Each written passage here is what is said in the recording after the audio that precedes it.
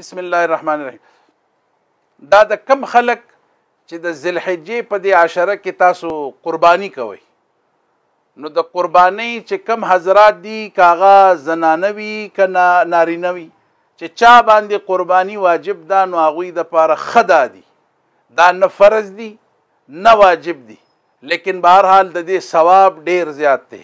د دې ثبوت د اسلافونه او د صحابه کرامو نه دا پوره یو سلسله د دې شته دی په سند باندې پوره نو بهرحال خدا ده چې د رسول الله صلی الله علیه وسلم د حکم مطابق د دې فضیلت ډیر دی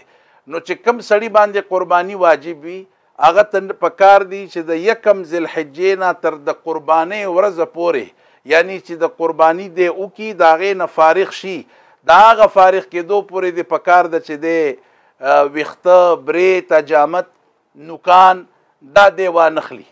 په دې کې ډېر لوی اجر او ثواب دی او ګویا چې کوم حاجیان دي، حجاج دي، دی د هغوی یو قسم له مشابهت هم کوي، نو د دې اجر او ثواب ډېر دی، نو چې کوم سړي باندې قرباني واجب وي، په کومه زنانه باندې واجب وي، هغوی ته پکار ده چې دا د غیر ضروري ویښتو. ویخته ناخلی او بلکې دی به انتظار کوي د قربانۍ پورې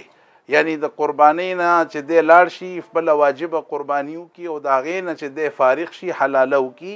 نو دا غې نه پس بچ دی بیا د خپل جامت او بریت او ویخته اخلي نو د د لپاره په دې کې اجر او ثواب ډیر دی